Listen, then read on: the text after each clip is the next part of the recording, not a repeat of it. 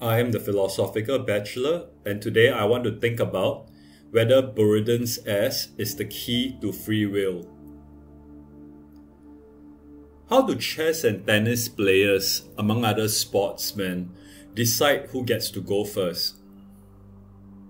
For chess, one of the players hides a white piece in one hand and a black piece in the other.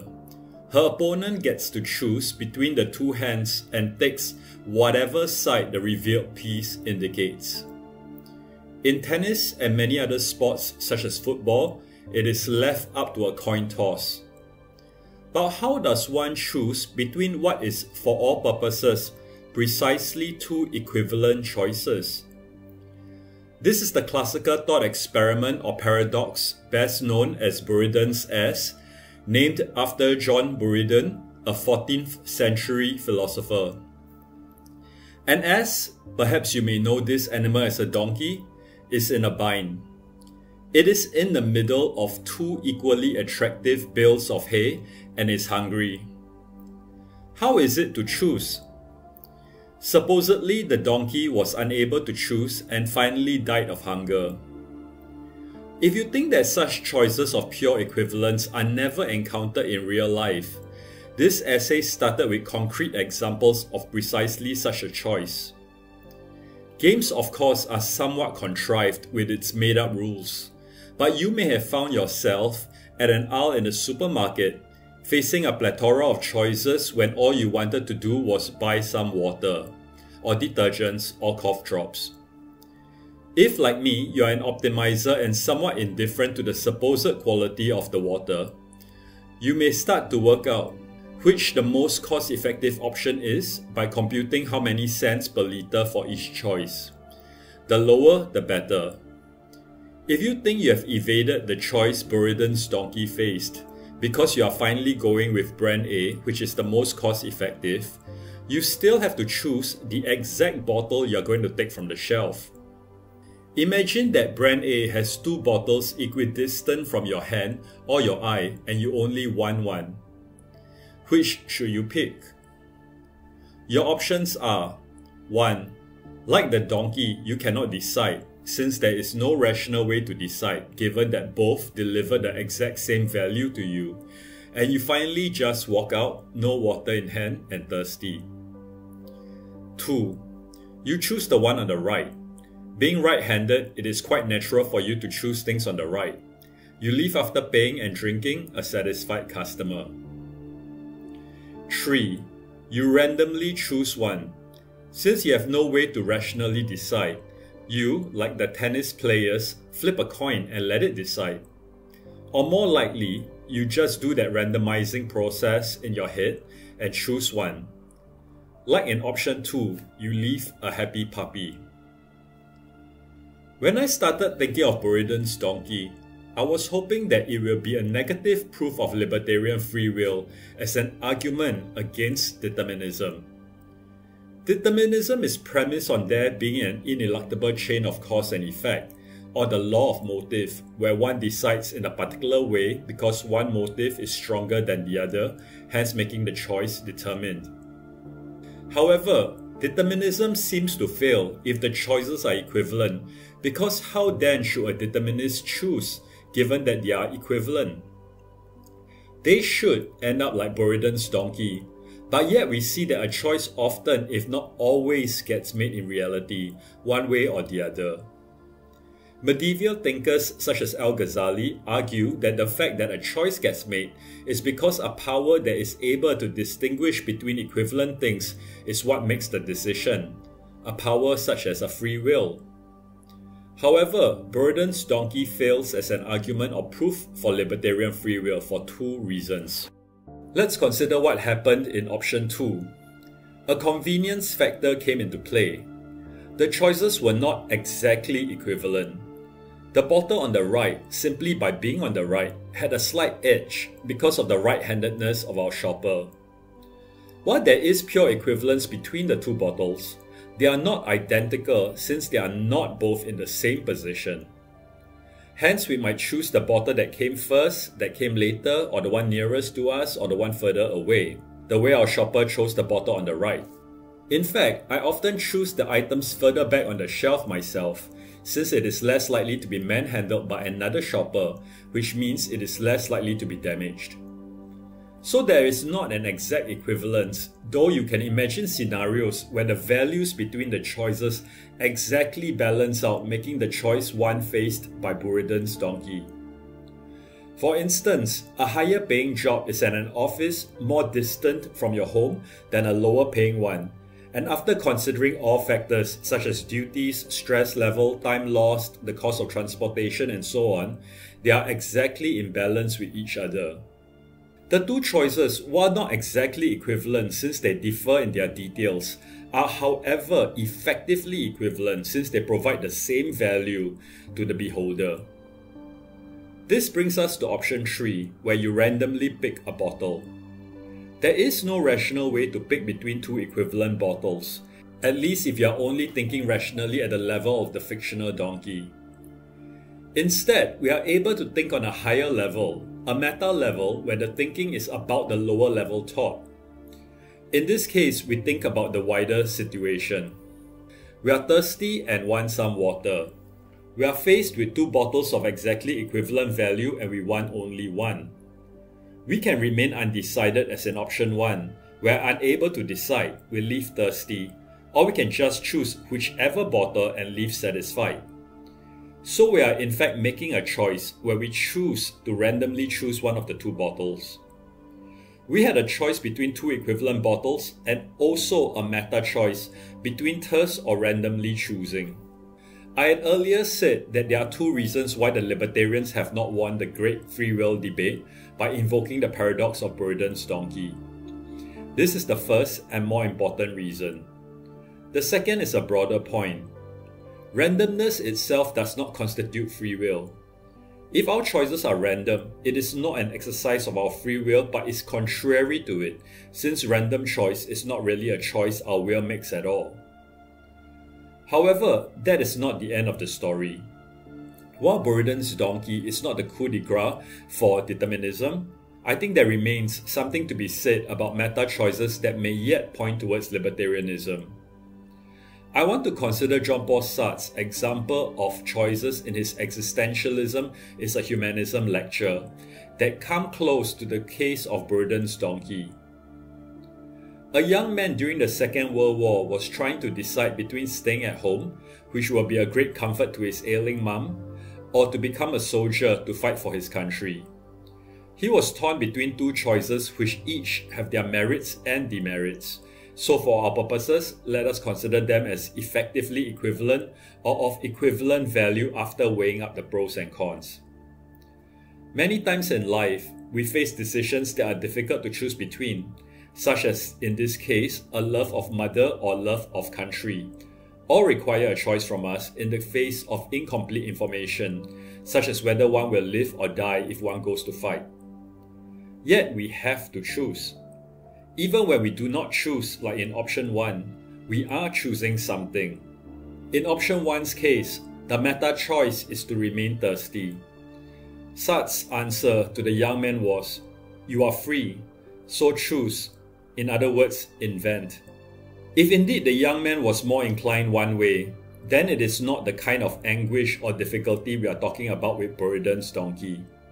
He may take some time to work out his thoughts and recognize his inclination. His decision may be the outcome of a complex of hard headed rationality and emotions. Indeed, if he did not know his inclination before, his decision will reveal to himself who he is as a person. What thoughts of love for his mother or his country are noble and even pleasant, his actions will be what will bring those thoughts into fruition or reality. But let's take it that he really is torn right down the middle faced with an effective equivalence between the two choices. If he does not choose, then he has effectively chosen to stay home with mother and so in that way would have chosen. But what does Sartre mean when he told the young man to invent? In a passage from a different example, Sartre says, They first contemplate several options and in choosing one of them, realize that its only value lies in the fact that it was chosen. Returning to our supermarket and our choice of water, when we picked that bottle out of the two bottles, that bottle became our bottle. It is no longer some anonymous bottle on a shelf belonging to no one, but is now mine. The two bottles, while seemingly the same as before, are not the same as before. By my choosing one of them, that chosen one through my act of choosing it has become the better, more valuable option. Say Sartre's young man decides to sign up as a soldier. In his decision, by his making that decision in that way, he has rendered that option of becoming a soldier more valuable than the other option of remaining home with mother. If we did not know which was better previously, we now tell ourselves stories, making up reasons why the chosen one is a better choice than the other. In other words, we invent those reasons, and in that inventing, we are inventing our essence. We are inventing who we want to be we are not already that person, but we are self creating that person. This increased valuation of what we have chosen is borne out in psychological studies. Known as the endowment effect, it is where an individual values what he or she already possesses over something new. By making the choice that one made, one is committing to a course of action and all that it entails. What previously was effectively equivalent no longer is, since that other choice and all that it entails is now hypothetical, while the choice one actually did make and all that it entails is now real. In other words, the choice made has become real or is actualized, while the abandoned choice has no reality whatsoever. Choosing the way we chose is making a commitment setting ourselves down a path where we get to enjoy the benefits and suffer the drawbacks of our choice. We can, of course, subsequently change our mind, though in some cases it may be too late. For instance, if the ailing mother passes away while our young soldier is away, or impossible, if the soldier has been shipped off to some border, or come with a cost, such as the cost of defaulting on a contract, or in the soldier's case, punishment for desertion. I began the essay with examples of choices of little consequence, but are more clearly of pure equivalence, such as who gets to start first in chess or tennis or shopping for water. There is a marginal advantage to starting first, which is playing white in chess, but in a tournament, a player usually gets to play at least one match as white and one as black against the same opponent, evening out any advantage. I moved on to more substantial examples from Sartre, where the equivalence is not exact but effective. We encounter both types of choices in real life, though the more troubling ones are naturally the latter. A random selection process may suffice for the more trivial examples, but would such young man really leave it up to a coin toss to decide what he should do? What makes the latter example more difficult and hence more troubling is its impact. Over many games of tennis, the coin tosses I won and lost across all of them is roughly even. However, the young man can only make the decision to stay home with mother or go to fight, arguably only once. The war will not last forever, and neither will his mother's life. Such decisions do not even out the way the tennis coin tossers do. If he chooses to go to war, he may be killed in the fighting, and then there will be no more further decisions that can possibly even this one out. If he stays home with mother, France may lose the war, and then he might have to live with the guilt of not playing his part and bear the cost of defeat, which no further decision can even out completely either. Knowing that his decision has a high impact, we can expect that he will agonize over it more compared to the anguish he faces choosing products in a supermarket.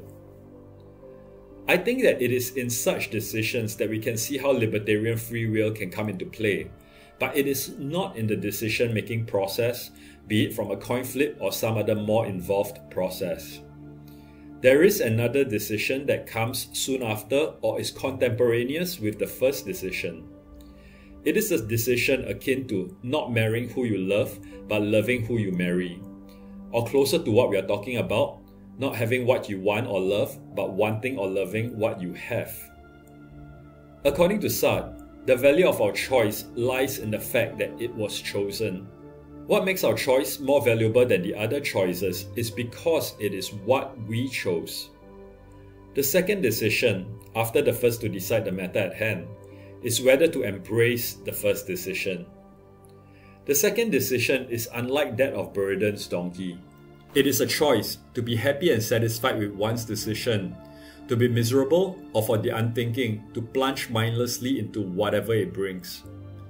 It is a choice to embrace the life that will ensue from out of that first choice, such as the soldier's life if that was what the young man chose, or to continuously be looking over his shoulder, thinking how staying home would have been. This second decision seems to be the one that arises from our free will, informed as it will be by our character and experiences, though not determined by them. Since the first decision is one made between effectively equivalent options, the options are ex hypothesi of the same value, all things considered.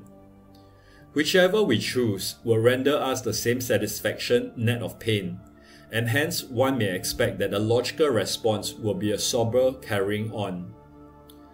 However, human beings are egotistical and emotional creatures. Even if we rationally cognize that the choices are effectively equivalent, as Sartre has postulated, and the endowment effect has shown, we treat the choice that we made to be more valuable. This recognition of what seems to be unwarranted additional value, however, does not mean that we will automatically love what we have chosen.